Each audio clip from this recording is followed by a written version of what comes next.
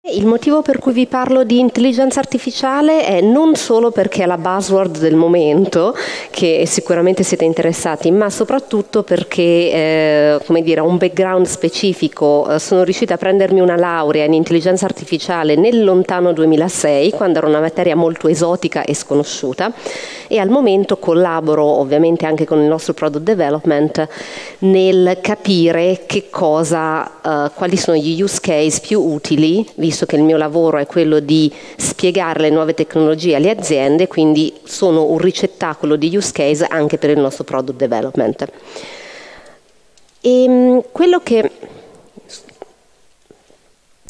quello con cui vorrei iniziare è, immagino che i film che vedete su, uh, su, questa slide li avete visti quasi tutti, almeno io sono ovviamente un'appassionata di fantascienza, quindi mi proietto nel futuro e eh, noto con, delle volte con dispiacere che quando pensiamo all'intelligenza artificiale, e poi torneremo anche sul nome, molto spesso è, eh, l'immagine che se ne ha è molto negativa, cioè prima o poi magari nasce eh, nel modo migliore come un aiuto all'essere umano, ma prima o poi diventa cattiva. Quindi fondamentalmente la nostra immaginazione è stata formata da uh, una sorta di paura della tecnologia e soprattutto dell'intelligenza artificiale.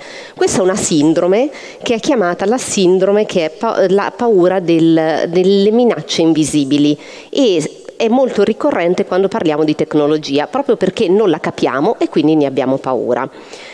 In realtà diciamo che anche il nome non aiuta, infatti ci sono molti dibattiti, molte discussioni che, che avvengono tra i ricercatori, anche noi internamente. Eh, innanzitutto definire intelligenza, sapete tutti che la definizione di intelligenza è dinamica, cambia. 50 anni fa l'intelligenza era solo quella aritmetica, adesso abbiamo capito che intelligenza è anche quella empatica, artistica, eccetera. Il termine artificiale poi in sé eh, è negativo in quanto immaginiamo un qualcosa che non è genuino, che non è vero, è una brutta imitazione di un qualcosa che come l'intelligenza umana ci immaginiamo come genuino. Infatti molti già suggeriscono di iniziare a chiamarla come intelligenza applicata o intelligenza aumentata, in quanto eh, farci, fare in modo di avvicinarsi anche al concetto eh, di, eh, di, intelligenza artificiale. La realtà dei fatti è che molto spesso noi la utilizziamo senza rendercene conto. Eh, alcuni stavano nominando prima alcuni casi. Ogni volta che utilizzate un chatbot si tratta di natural language processing. Ogni volta che utilizzate probabilmente Waze, Spotify, Netflix applicano del machine learning per ottimizzare i risultati che voi avete. Utilizzano i dati che le vostre preferenze per darvi dei risultati iperpersonalizzati, quindi designati appositamente per voi. Noi utilizziamo quindi già il grande ombrello delle tecnologie sotto il termine artificial intelligence senza rendercene conto. E infatti a me piace sempre citare uh, John McCartney, che è, è, stato chi ha coniato il termine intelligenza artificiale nel 1956, quindi molti anni fa, e lui diceva non appena funziona non la chiameremo più uh, intelligenza artificiale. Infatti di nuovo c'è il grande tema della tecnologia invisibile e io faccio sempre il paragone della vostra lavatrice. Eh, avete, io immagino che voi non abbiate paura della vostra lavatrice, almeno lo spero per voi, perché è un elettrodomestico che è insieme a voi da molti anni, ne capite il beneficio e semplicemente lo usate. Quindi in molti casi quando, quando si parla di AI sta avvenendo già questo, quando noi ne abbiamo paura è perché fondamentalmente ancora non ne abbiamo capito l'uso o non la stiamo usando. È importantissimo ribadire che eh, e, mh, molto spesso nei giornali si legge ok, eh, le AI vi ruberà il lavoro, l'automazione inizierà a sostituire questo e l'altro. Adesso non ho in slide la ricerca, ma fondamentalmente McKinsey ha fatto un'analisi su tutte le attività eh, lavorative del mondo e eh, hanno stimato che da qui al 2030 solo il 6% di queste attività può essere sostituita o meglio automatizzata interamente, ma quello che avverrà sarà qualcosa di diverso, ossia che eh, circa il 60% di varie attività può essere automatizzato, quindi significa che in modo verticale sono poche le attività che possono essere completamente automatizzate, ma in modo orizzontale sono molti, quindi significa che in ognuna delle nostre attività che svolgiamo adesso ci sono delle fasi eh, che possono essere automatizzate.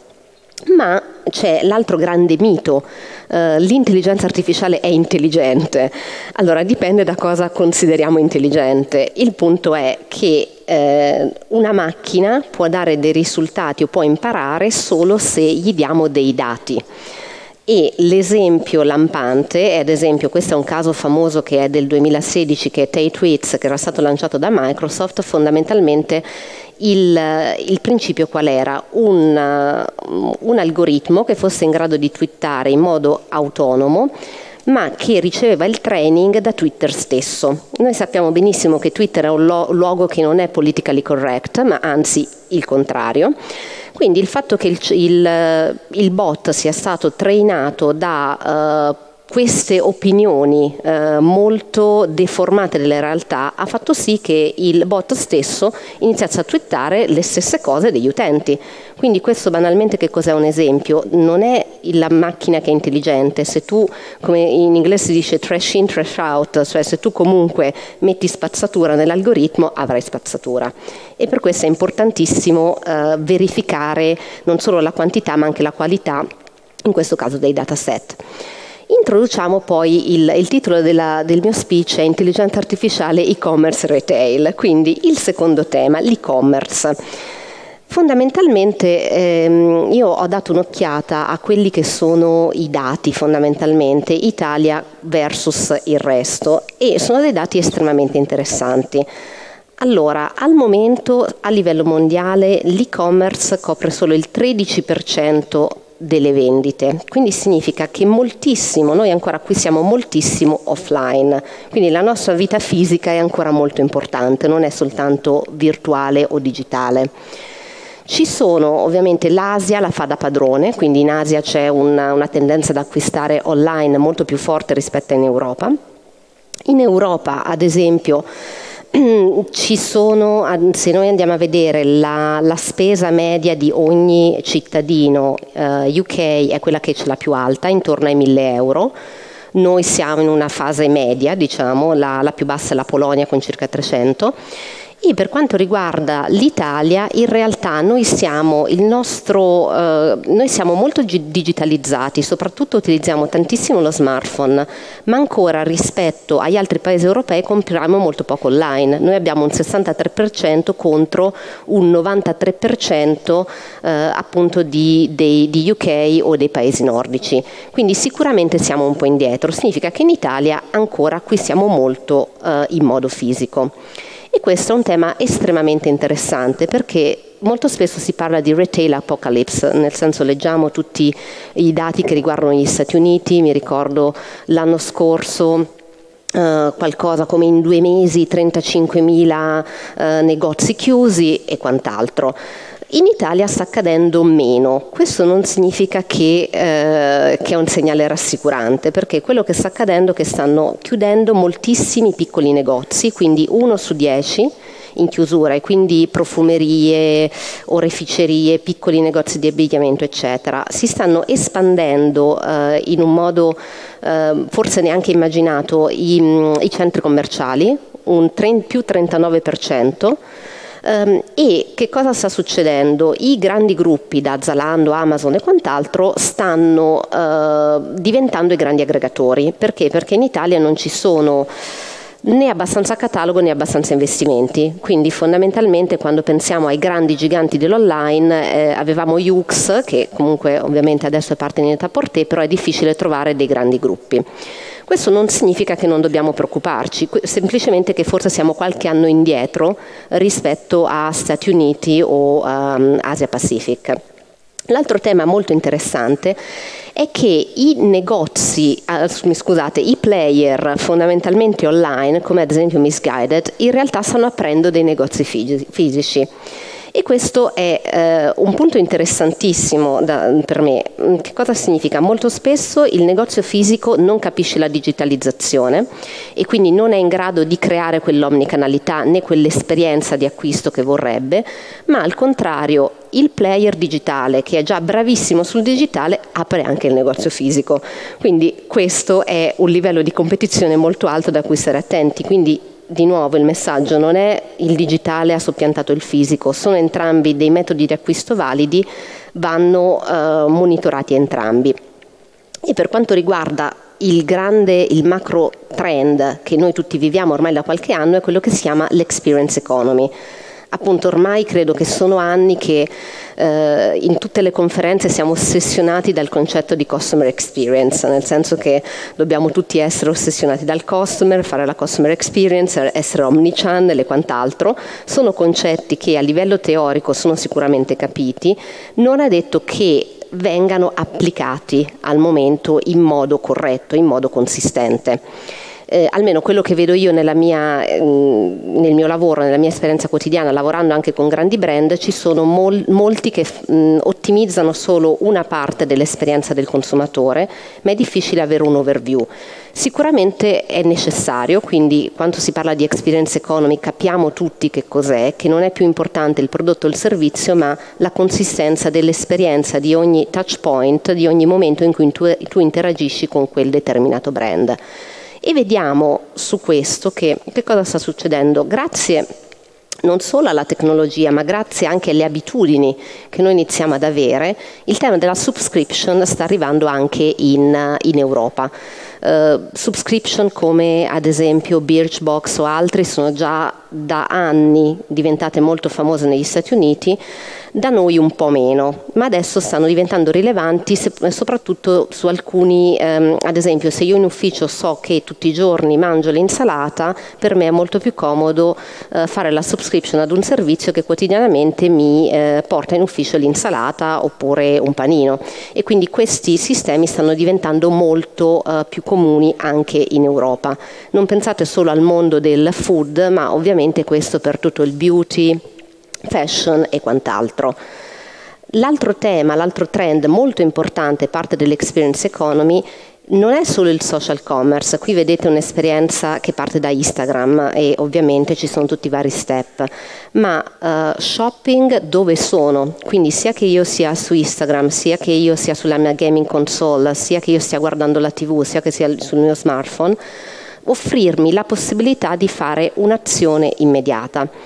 E qui c'è anche il tema del micromomento, che poi ehm, vi spiegherò un po' meglio, che è molto facile da capire. Siamo in una, in una, fase di overload di canali, quindi l'omnicanalità non è soltanto mobile e web o offline, ma l'omnicanalità sono ogni giorno abbiamo un nuovo canale e quindi dobbiamo presidiarlo, ma il suo nuovo canale ha dei suoi momenti di interazione molto diversi dagli altri. Quindi cosa significa? Individuare quello che è il micromomento, il momento in cui il nostro utente sta per fare qualcosa, quindi ha l'intenzione, come inizialmente l'esempio di io attraverso i dati posso fare un'analisi predittiva e posso, posso sapere che tu vorrai quel libro, presidiare questo momento è importantissimo perché ovviamente posso offrirti una comunicazione personalizzata in modo da direzionarti anche eh, verso quello che è l'oggetto o il servizio che stai cercando. Altra, altro trend molto importante, noi stiamo lavorando su questo con Snaptech, è la ricerca visuale. Di nuovo, paradossalmente, io vedo una ragazza che sta indossando una giacca che mi piace, fotografia, da qui faccio una ricerca, immaginiamo sul, uh, su Snaptech, ma lo stanno applicando anche Zalando, ASOS, eccetera e ho um, il, magari non esattamente quel modello, ma quello che più si avvicina a quel modello. Altro, eh, sta cambiando molto anche il mondo dei, eh, dei, social media, nel senso che tutti, l'altro grande buzzword erano quelli degli influencer, no? tutti eh, conosciamo da Chiara Ferragni e quant'altro. In, negli ultimi anni eh, sta un po' cambiando questo mondo, che cosa significa? Che il grande influencer non è più gettonatissimo. Cosa significa? Che io so benissimo che eh, Chiara Ferragni viene sponsorizzata dai vari brand per indossare questo o l'altro. Quindi eh, il grande influencer sta diventando come l'advertising classico, cioè non c'è una grande differenziazione. Quindi stanno nascendo moltissimi strumenti, come ad esempio questa startup con cui collaboriamo che si chiama Duel, che ehm, ci aiutano a individuare quelli che sono i micro influencer quindi influencer che hanno dai 10 ai 100.000 fan eh, e non sono perché ai brand piacciono molto perché sono molto più spontanei, eh, perché comunque le raccomandazioni eh, che fanno riguardo a un certo tipo di prodotto sono un qualcosa in cui credono e quindi non c'è più il concetto di advertising. Ad esempio Duel ha un, un sistema per individuare attraverso keywords quelli che sono i micro influencer e poi costruire una community di ambassador e ad esempio vengono utilizzati post di Instagram per promuovere un certo prodotto, quindi eh, peer-to-peer utilizzando gli influencer. Quello che poi a livello un po' più macro stiamo vedendo che è avvenuto negli ultimi vent'anni, che è più o meno quella che è la storia di, di, internet, noi siamo passati da una modalità di interazione con le macchine, di ricerca, quindi pensiamo 1995 eh, ricerco, interagisco col motore di ricerca, quindi è importante il click. Più o meno dieci anni dopo, mettiamo 2005, nascita del mondo dei social media, che cosa è importante? È importante che i vostri utenti condividano le loro opinioni, condividano le foto, condividano con voi informazioni. Quindi in un certo senso anche costruire una relazione tra il brand e gli utenti. A partire da circa il 2015, è stato citato anche prima, siamo nell'epoca conversazionale. Eh, c'è la nascita non solo del chatbot ma anche del voicebot con cui interagiamo e al momento il, il voicebot, come dire, l'interazione è un po' limitata perché almeno io utilizzo um, vari voicebot ma fondamentalmente per, uh, per dargli il comando uh, play Spotify o cose del genere, quindi l'interazione è ancora limitata ma sarà così per poco. Eh, perché è un, un, un, passaggio epocale? Perché fondamentalmente noi iniziamo a parlare con le macchine, cosa che prima non potevamo fare e noi parliamo normalmente tra di noi, quindi è un'interazione assolutamente umana. Essendo umana ci immaginiamo che sarà il modo in cui interagiremo con le macchine nei prossimi X anni, finché non avremo probabilmente una lente a contatto che ci, per, ci proietterà appunto sull'occhio delle immagini, eccetera. Però per diciamo, i prossimi anni quello conversazionale sarà la modalità eh, principale. Vi vorrei far vedere un, se parte il video, un esperimento, questo è, è, un pilota, quindi non guardate, eh, graficamente è molto brutto, però è un, è un, pilota. In realtà noi ci siamo divertiti a, a costruire quello che abbiamo chiamato un emo bot, quindi un bot che cerca di capire le tue emozioni. Qui eh, c'è il signor Craig che l'emobot chiede ciao Craig come stai e lui invece di interagire manda, si fa una foto, quindi ovviamente questo è un database di foto, si fa una foto, si fa un selfie e la manda al, al bot. Quindi ha selezionato questa foto. E eh, giustamente il bot eh, fondamentalmente gli dice eh, sei arrabbiato che cosa vuoi fare per rilassarti e gli propone leggi qualcosa di rilassante, guarda qualcosa per sorridere, eh, ascolta qualcosa e rilassati e lui in questo caso decide guarda sì voglio guardare qualcosa e gli fa selezionare tutte delle categorie fondamentalmente rilassanti che sono dalla commedia al documentario eh, alle ricette eh, salutiste.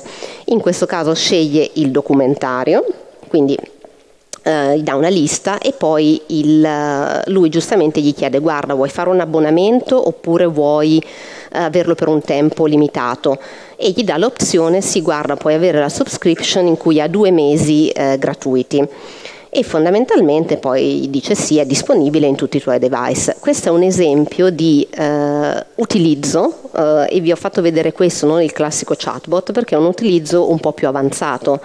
Uh, molti sistemi di intelligenza artificiale possono riconoscere al momento le espressioni facciali principali. Uh, non, lì c'è un tema molto importante, probabilmente non possono riconoscere dei dettagli, però se uno è fortemente arrabbiato o sta sorridendo sì, e quindi in base a questo si può dare un trigger per far partire un'interazione, che in questo caso è un'interazione che poi ha ovviamente un carattere commerciale, no? perché eh, c'è quello di dire ok, allora fai la subscription e quant'altro. Vi faccio vedere un altro esempio di, uh, sempre che parta, aspettate, no, il video prima non è partito, ma ok, lo saltiamo. Un altro esempio di eh, esperienza di shopping, nel video precedente che non vi ho fatto vedere c'è un'altra startup con cui lavoriamo che si chiama Blipar, fondamentalmente pa- si parte da un augmented reality in cui da un magazine di ricette si, ehm, si, ha fondamentalmente la ricetta e quindi nel, nel, tuo smartphone hai tutte le indicazioni su quelli che sono eh, tutti i vari ingredienti necessari per questa ricetta e ad un certo punto la persona dice sì ma io non ho eh, ad esempio ho finito le uova e quindi in questo caso l'applicazione gli suggerisce di eh, dove sono i negozi più vicini per andare a comprare le uova. Poi l'esperienza di shopping continua perché arrivato, immaginiamo, nel supermercato, succede questo, di nuovo l'applicazione ti guida attraverso il supermercato per andare nello scaffale dove sono le uova. E ti può anche suggerire altre cose, di nuovo personalizzazione con i tuoi dati, io magari so che stai seguendo una dieta specifica, ti suggerisco guarda non comprare solo le uova, vai a prendere anche questo eh, ingrediente o credo che ti piaccia questo e l'altro, quindi di nuovo si può personalizzare, si può utilizzare la tecnologia per risolvere dei problemi molto pratici, in questo caso io mi sento molto vicina a, a questo caso perché mi perdo sempre nei supermercati, odio fare la spesa nei supermercati, quindi questo è utilissimo perché ti direziona e ti può dare anche dei consigli eh, iperpersonalizzati. Perché vi faccio vedere un esempio di augmented reality quando stiamo parlando di intelligenza artificiale? Perché fondamentalmente l'intelligenza artificiale è una tecnologia orizzontale, cioè voi immaginate che attraverso tutti questi strumenti, soprattutto il mobile o attraverso applicazioni che comunque offrono un servizio ai vostri utenti, voi raccogliete dati, raccogliete informazioni. Eh, abbiamo visto che l'intelligenza artificiale si nutre di dati e quindi è orizzontale perché raccogliere dati da qualsiasi fonte permette poi di costruire machine learning e algoritmi che possono essere in un certo senso applicati eh, su una serie di eh, altre applicazioni. Quindi non pensate alle AI come un qualcosa di a sé stante, ma normalmente è un, una sorta di layer che eh, viene applicato a qualsiasi tipo di interazione che potete fare. Quello che abbiamo visto qua è quello che chiamiamo la, grandi, la, grande dispersione, nel senso che i punti di acquisto e i punti di interazione si moltiplicano. Quello che ovviamente è importante è raccogliere i dati, e capire dove sono quello che abbiamo chiamato i micromomenti, cioè quali sono i momenti in cui dovete offrire o un prodotto personalizzato o un servizio o una comunicazione personalizzata, in modo da capire l'intenzione e offrire quello che la persona desidera in quel momento. C'è un, grandissimo tema sui dati che è emerso fortemente negli ultimi due anni, quello scandalo, scandalo di Cambridge Analytica con GDPR e quant'altro. E ehm, io stavo leggendo alcuni articoli nei, nei giorni scorsi che c'è, anche una forte polemica su tutti quelli che sono i dat- dati di terza parte, no? nel senso come dire ok io non, non raccolgo direttamente i dati ma eh, posso creare dei modelli di lookalike perché attraverso i dati di terza parte faccio il matching tra i miei dati e quelli che sono anonimi. Allora, questo è sicuramente ancora valido, nel senso quando parliamo di marketing automation eh, il lookalike è utilissimo soprattutto nella fase di acquisizione. E questo è così perché sono dati anonimi, ma in realtà moltissime ricerche dimostrano che ehm, allora, se c'è una proposizione forte, nel senso che io all'utente offro un qualcosa che a lui interessa, quindi eh, offro un'esperienza personalizzata, gli faccio risparmiare tempo, gli offro quel servizio che lui sta cercando, l'utente di solito è positivo, cioè vuole condividere i suoi dati. Quando è che non si vogliono condividere? Quando uh, inizi a spammarmi con la tua marketing automation mandandomi delle email che non voglio ricevere. E questo spesso è la grande differenza, che sembra una cosa semplicissima, ma molti brand non lo fanno. Quindi il punto non è, è assolutamente eh, offrire la personalizzazione e di solito se è spiegato il perché e se è anche associato a dei meccanismi di loyalty o dei meccanismi di da offrirmi un servizio, la maggior parte degli utenti vogliono condividere i loro dati perché capiscono a cosa servono. È ovvio che se c'è non trasparenza e eh, vengono utilizzati appunto per spammare, eh, a un certo punto poi anche gli utenti eh, se ne andranno. Però questo è un tema molto importante che è molto semplice però spesso non capito. Io vi faccio un esempio di, di nuovo di Misguided. Noi abbiamo fatto questa questa campagna che è con un, chiamiamolo non banale, però con un marketing automation. E allora loro lo chiamano trigger based marketing. Che cosa significa? Significa che c'è prima un'analisi di tutti i dati comportamentali, ovviamente raccolti con i dati di prima parte, ma anche con un matching dei dati di terza parte, ovviamente anonimi.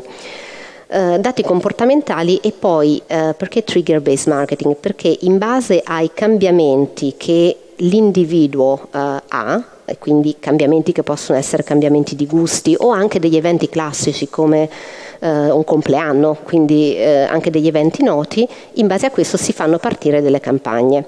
Queste campagne hanno un sistema di scoring, nel senso che eh, in base a quella che è la reazione si personalizza di nuovo il messaggio. Se l'utente reagisce a quella push notification o quell'email con un certo contenuto, allora io lo direziono verso un certo altro contenuto. Se non reagisce, allora aspetto eh, mando un altro tipo di trigger e vedo a quello che reagisce, però fondamentalmente è di nuovo utilizzare l'automazione in modo personalizzato e è possibile personalizzare anche attraverso l'automazione. Di nuovo il, la chiave è avere i dati e avere anche eh, quei dati di terza parte che permettono di avere dei sistemi di eh, lookalike. Uh, un altro esempio, questo è uh, un altro esempio con Dick Spade, fondamentalmente di nuovo un altro esempio di personalizzazione molto semplice, qui ci sono tre elementi, prima mostrare uh, gioielleria oppure borse e quant'altro, anche questo è personalizzato in base all'utente, quindi decido quale, qual è l'ordine da mostrare in base di nuovo a quei trigger, a quei comportamenti che vedo nell'utente. Altro esempio, questa è Macti, è una startup eh, belga con cui, eh, appunto, che fa parte del nostro acceleratore di startup. Anche in questo eh, esempio è l'esempio del, eh, dell'immagine, della ricerca visuale che vi ho fatto vedere prima. Velocizzo un po' perché abbiamo solo 5 minuti, vi vorrei far vedere senza spiegarvi i tecnicismi perché eh, in realtà quelli sono eh, meno importanti, vi vorrei far vedere alcuni esempi eh, applicati al marketing di quello che sta avvenendo adesso. Uh, search result, quindi iperpersonalizzati, di nuovo in questo caso qual è il, uh, il concetto? Io ho dei dati, posso personalizzare i, i risultati in modo dinamico. Uh, I vantaggi quali sono? Uh, ovviamente le conversioni sono molto più alte, posso anticipare i bisogni, ma anche quello che, um, che si chiama digital empathy. Che cos'è il concetto di digital empathy? Uh, è di nuovo intercettare il, il, micro moments, nel momento che i, per me il brand è, sta empatizzando con me perché capisce quello che io sto per volere e quindi è un concetto molto forte, non mi fa perdere tempo, mi fa risparmiare tempo fondamentalmente. L'altro esempio sono quello, del, uh, quello classico dell'e-commerce, delle product recommendation. In questo caso c'è una grande differenza rispetto al, al passato. Scusate. La differenza è che non ci sono più i, um, in passato quello che veniva utilizzato sono solo i dati storici, quindi questo significa per, um, il motivo per cui tu avevi appena comprato il libro e ti veniva suggerito lo stesso libro o ti veniva suggerito un qualcosa di simile a quello che avevi comprato o basato sui tuoi gusti o su quello di persone simili a te perché si utilizzavano solo i dati storici. Adesso con ovviamente sistemi di machine learning che cosa si utilizzano? Si utilizzano i dati contestuali, quindi della tua sessione di browsing.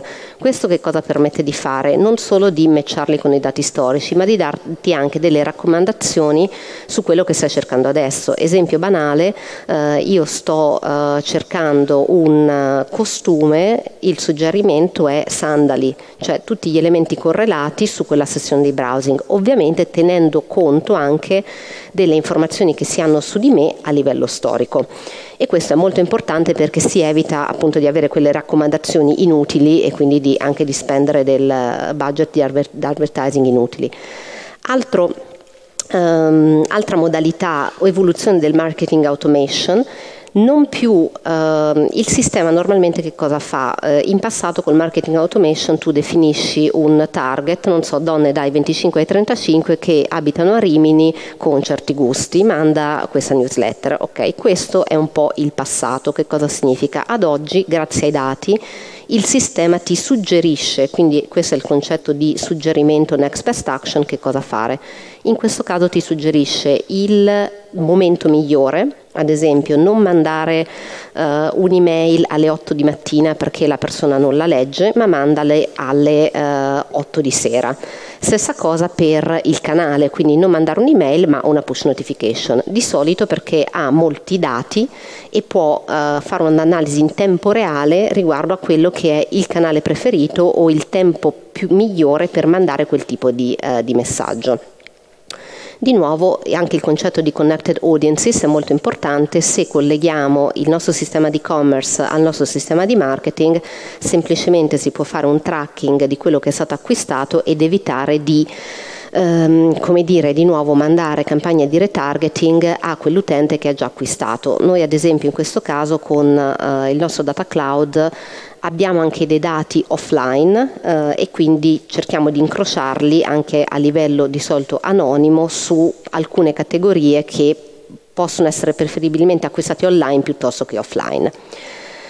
Allora, qual è? E qui è un po' un sommario di quello che vi ho raccontato oggi attraverso degli esempi. Ci sono delle aree di trasformazione che sono eh, assolutamente importanti. Abbiamo visto il grande tema dell'experience economy e che, che, cosa è importante nell'experience economy? Non solo ehm, essere, avere una customer experience consistente su tutti i canali, ma capire come questo può essere collegato anche al concetto di, di loyalty.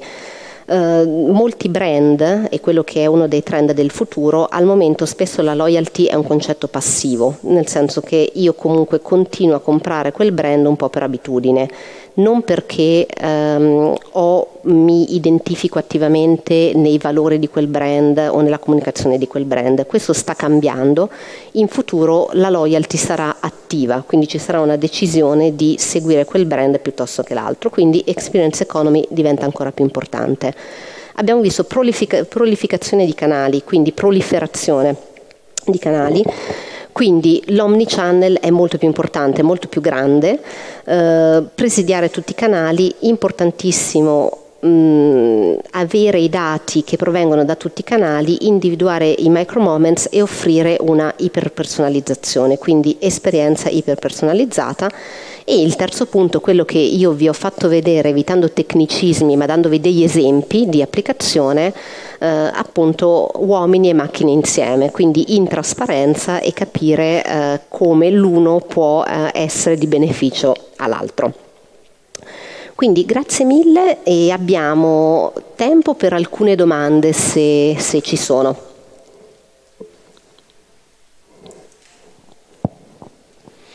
Grazie Luisella, un applauso.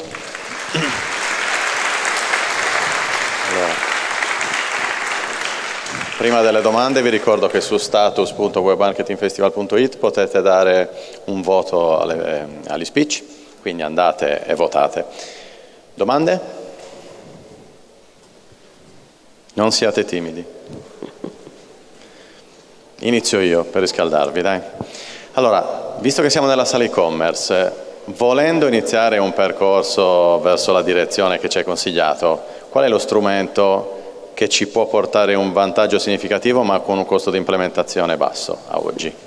Eh, domanda ottima direi, anche se difficile. Allora, dipende, di solito se non si utilizzano dei sistemi di marketing automation, io è la prima cosa che consiglio. Uh, essere anche sicuri, mm, marketing automation è più nel breve periodo, poi nel lungo periodo essere sicuri di non avere i vostri dati in dei silos, quindi capire quali dati avete, avete dei dati dell'e-commerce, del sito web, uh, dati che vi vengono da partner eccetera e armonizzarli in modo che possiate usarli e, e appunto applicarli per, non solo per la marketing automation ma anche per personalizzare prodotti, servizi e comunicazione. Altre domande? Io ne approfitterei, eh? visto che comunque sia la velocità con cui le evoluzioni stanno andando avanti è ormai spaventosa. Una lì.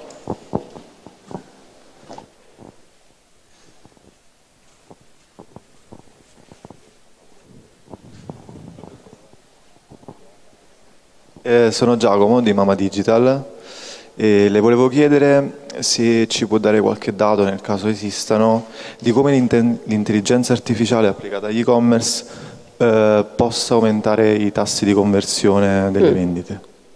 Cioè, c'è una reale differenza ad oggi? Sì. Abbiamo dei dati?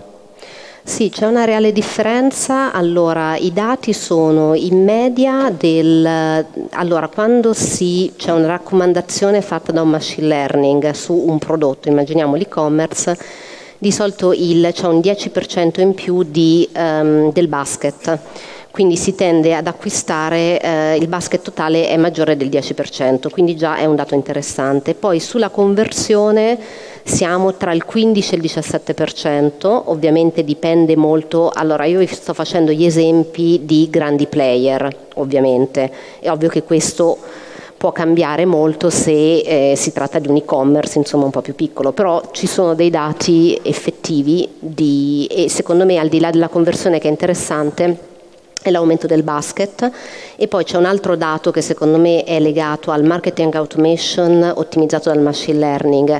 I dati di abbandono del carrello in alcuni casi sono tra il 70 e il 90%. Quindi di nuovo quando si abbandona il carrello, di nuovo marketing automation per identificare perché è stato abbandonato il carrello e mandare una comunicazione pers- iperpersonalizzata di nuovo per eh, far riprendere l'esperienza di acquisto e di solito il carrello è abbandonato o perché ehm, è troppo complicato il processo di checkout, quindi un dato interessante, o perché non è disponibile ad esempio un, un sistema di pagamento locale eh, ad esempio posso pagare solo con uh, Visa o comunque non con uh, col sistema di pagamento con cui vorrei pagare.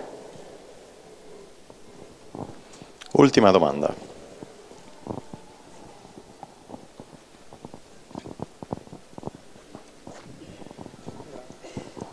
E una domanda relativa ai chatbot, in che modo utilizzeresti i chatbot uh, per incentivare una vendita? Cioè l'utilizzo allora, lì mm, nel senso di solito i chatbot sono già utilizzati per incentivare una vendita e mm, è stato anche provato che è apprezzato dagli utenti. Che cosa significa? Allora, io mh, mm, posso interagire con un servizio di un prodotto per richiedere delle informazioni. In questo caso io richiedo delle informazioni, ma immaginiamo che il chatbot sappia già chi sono, quindi abbia anche già una serie di dati per offrirmi qualcosa che mi interessa, in quel tipo di interazione si può fare la proposta, guarda, eh, acquista questo servizio, acquisto questo prodotto. Cioè l'esempio che abbiamo visto prima del, dell'emobot, in questo caso si parte da uno stato d'animo, cioè che la persona in questo caso è arrabbiata e il chatbot gli suggerisce ti posso suggerire di guardare, un, in questo caso lui seleziona il documentario, ma immagino ti posso suggerire di guardare un documentario per calmarti eh, però quello che, quello che, secondo me è molto interessante, al di là del, di utilizzare il chatbot per come dire, un'esperienza d'acquisto standard. Mm, molti esempi che vengono fatti con le telco, non so, io voglio eh, ricaricare la mia carta telefonica, utilizzo il chatbot. Questa è un'esperienza molto semplice, no? Ma quello che vediamo che funziona è che un'esperienza che nasce con un altro intento, se è ben personalizzata, può trasformarsi in un'esperienza d'acquisto. Grazie. Prego. C'è un'ultima domanda bonus. Consiglio. Come possono i piccoli e-commerce combattere i grandi colossi, cioè limitare i danni? Grazie. Allora, beh, bella domanda. Secondo me è quello non...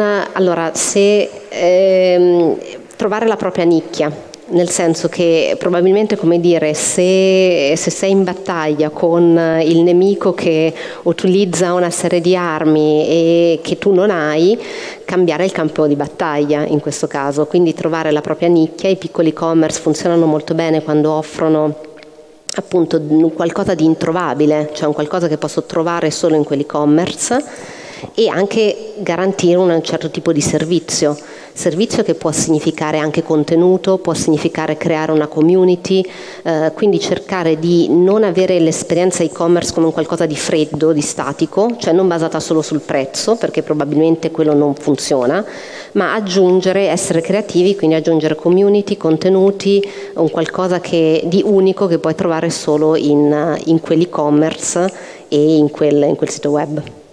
Aggiungo io un dettaglio velocissimo. Chi conosce AliExpress? Ok. Amazon, la ficca chiede, la conoscete tutti, AliExpress in realtà è entrato da due anni in Europa, sull'Italia sta iniziando a fare l'integrazione adesso, entrerà con una fee che è la metà. Metà, secco. Ok? Situazioni come queste, nel caso in cui AliExpress riesca davvero a prendere volumi significativi sulla country, vuol dire una rivoluzione del mercato perché Amazon per forza dovrà rivedere le, le fee, cosa che ha fatto ad esempio in Spagna, in Spagna ha delle fee più basse, perché? Perché c'è stata una class 2 action, chiamiamola, che ha fatto un casino. Quindi, ok, e-commerce piccolo, in realtà però a oggi ci sono ancora, a parte le nicchie che si dice sempre, ma delle opportunità da sfruttare, l'aumento della velocità, della dinamica, secondo me le può aumentare. Quindi stiamo sul pezzo, andiamo sempre sulle novità, che ce n'è ancora tanto. Allora, ringraziamo Luisella, un applauso. Grazie.